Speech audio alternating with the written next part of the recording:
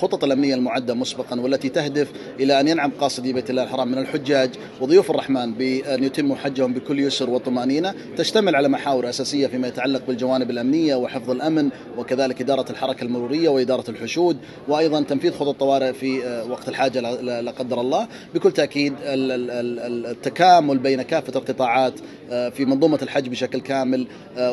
والارتباط المباشر أيضا فيما يتعلق بالتنسيق الميداني بين القيادة والسيطرة في مقر الأمن العام بمشعر منى وكذلك القوات من الحج فيما يتعلق بقدوم حجاج بيت الله الحرام خلال الأيام الماضية من خلال مراكز الضبط الأمنية الدائمة والمؤقتة أيضا بالتحقق أيضا من سلامة التصاريح آه، من خلال أجهزة لوحية يحملها رجال الأمن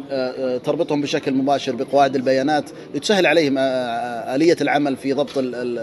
ضبط المخالفين في حال تم ضبطهم. وهناك أيضا عقوبة نظامية مقررة بحق مخالفي أنظمة الحج بأن تصل الغرامة المالية إلى مبلغ عشرة ألاف ريال وكذلك ناقلي مخالفي أنظمة الحج يتم تطبيق الغرامة المالية بحقهم بخمسين ألف ريال في الحد الأقصى والإيقاف والسجل لمدة ستة أشهر وكذلك مطالبة الجهات القضائية بمصادرة المركبة الناقلة. نهيب حقيقة بالتزام الجميع بأنظمة الحج لأن ذلك ينعكس حقيقة على تعظيم الاستفادة أيضا من الخدمات المقدمة لحجاج بيت الله الحرام.